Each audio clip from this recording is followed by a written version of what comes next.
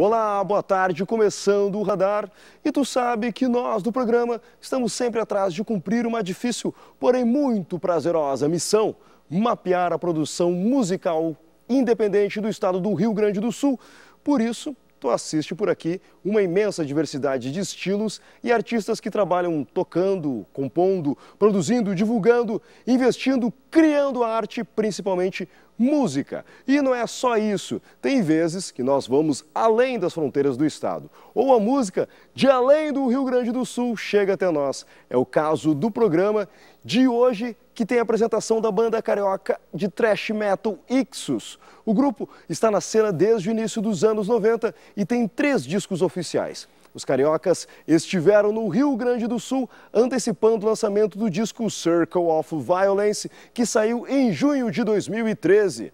Nós conversamos com os guris no estúdio Marquise 51 aqui em Porto Alegre, onde eles também fizeram um som e tu confere isso tudo agora e também alguns vídeos feitos durante a produção do disco Circle of Violence.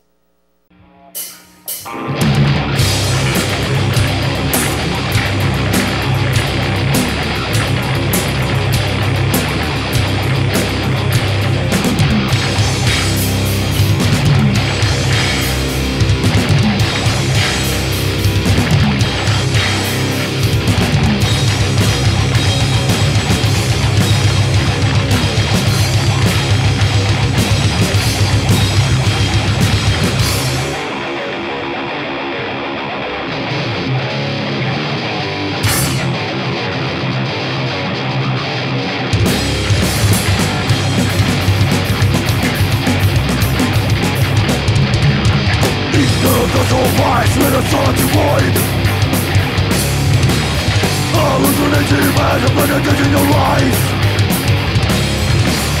In the world away, in the world of the days. That's wider, the only sea The one that grip, and the love in the mind That's wider, the only sea The and love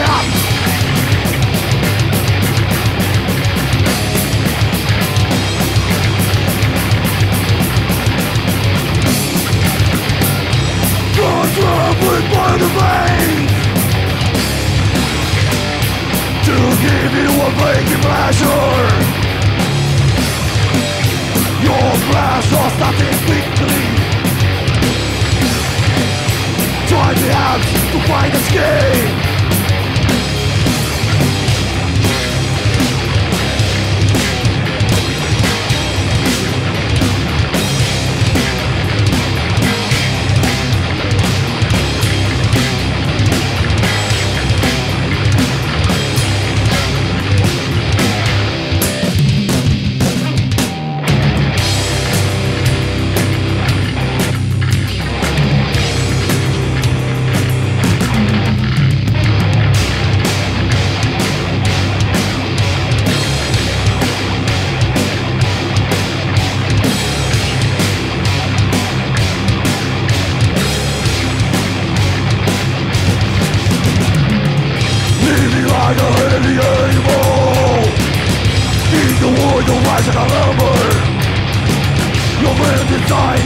kanar Sky will the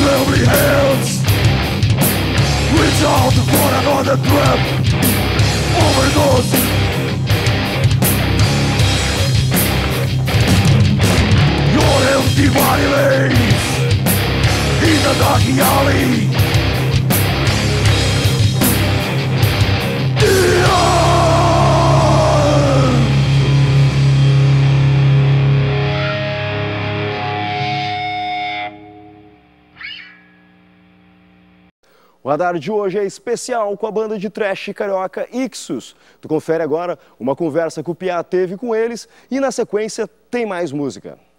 Vamos nessa então, estamos recebendo no radar hoje a banda Ixus. Eu queria que a galera se apresentasse aqui. Marco Vitor, baixo e voz. É Marcelo Led, bateria. Celso Rossato, guitarra. Antônio Saba, guitarra. Cara, quanto tempo já tem a banda? Então, o Ixos tem 22 anos aí de estrada, a gente está na, na correria aí há 22 anos fazendo thrash metal. Da formação original, só eu e o Antônio. O Marcelo entrou em 97, o Celso tem dois meses aí na banda aí, com a saída do último guitarrista. A gente está na batalha aí. Legal, cara. E quantos discos você já tem gravado nesse período aí de 22 anos? Então, a gente tem full, né? Disco oficial mesmo. Nós temos, estamos lançando o terceiro agora.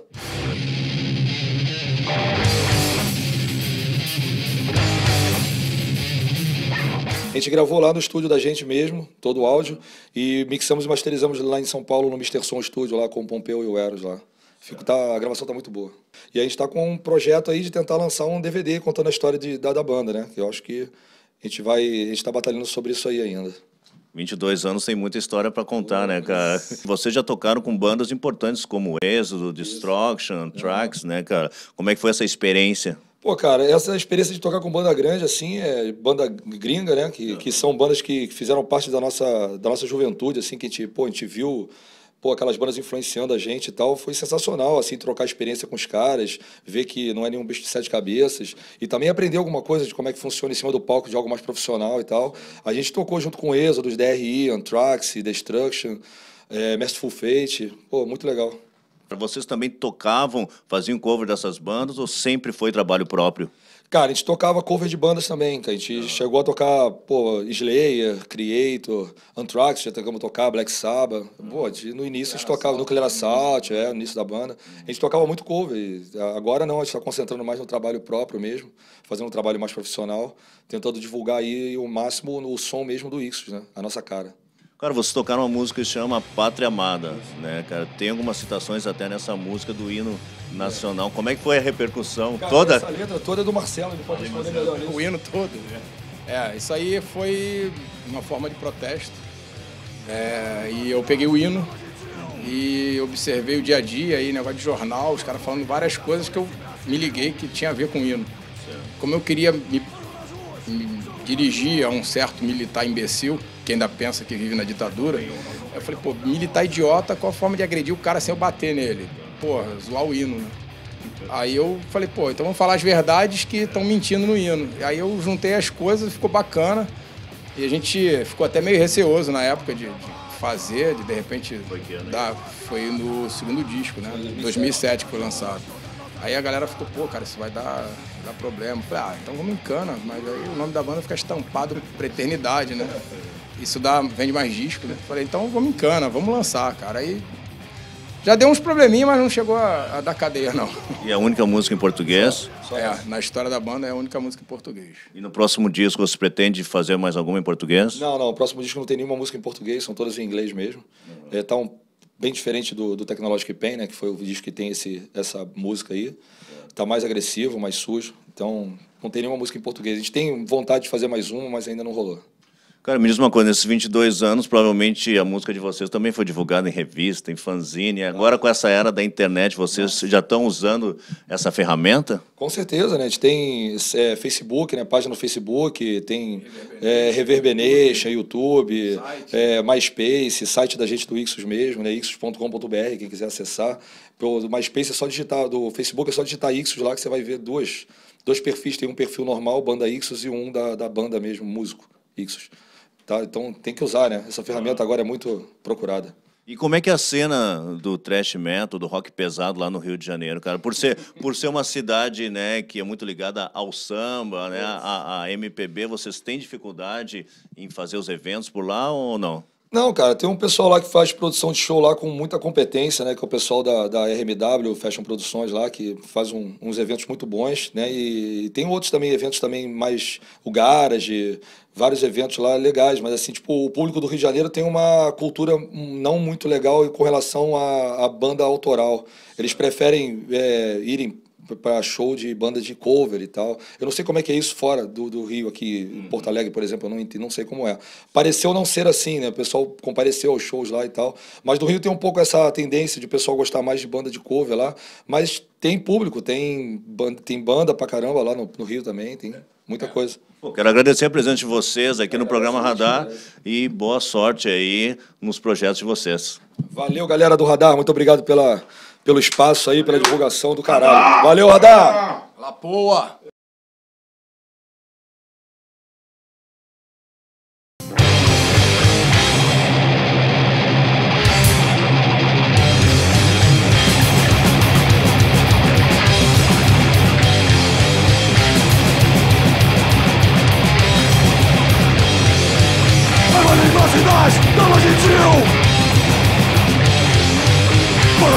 Educação nesse Brasil. Ando nas ruas, jogo com a sorte Desafio nosso rei da própria morte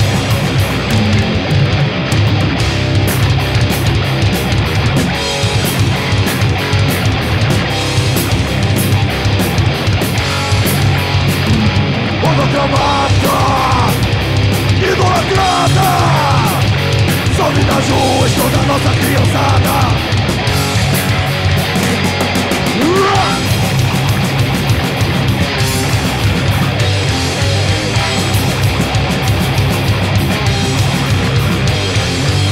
No morro e nunca desce E sou inimigo da pistola resplandece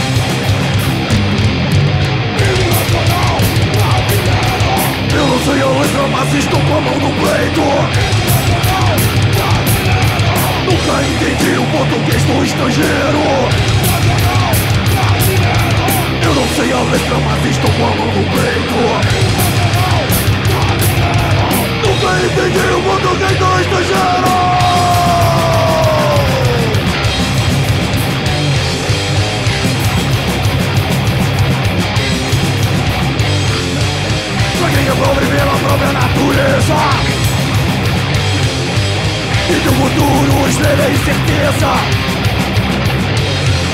Tentando eternamente essa luz do céu profundo Essa da guerra que envolve todo mundo